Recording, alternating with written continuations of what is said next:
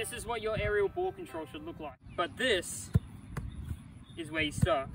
The bounce juggles are the foundations for building good aerial ball control. During this starting exercise, players should aim to achieve two things controlled ball touches at waist height and backspin on the ball. The backspin is important because it ensures the ball stays closer to you whenever you make contact with it. Practice with only one bounce juggle for each repetition until you get confident with both feet. Progression.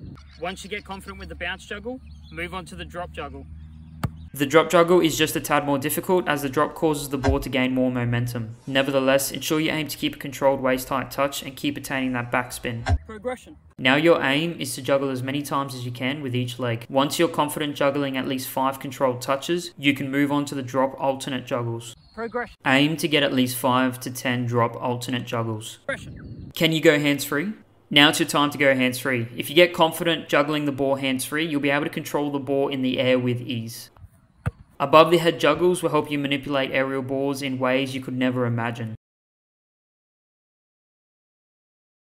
Progression. Practice the simple outside touch and then the outside directional touch. But wait, you still have to learn the inside juggle, the inside touch, and the directional inside touch. Then there's also your shoulders, your thighs, chest touch, the back touch, and even the booty touch. Well, maybe not that last one, but you get the picture. You can try practice controlling the ball with your head, but yeah, stuff like this can happen. So, hey, you do you.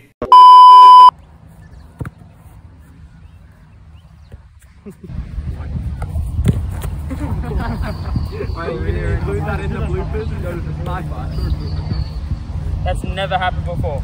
Yeah,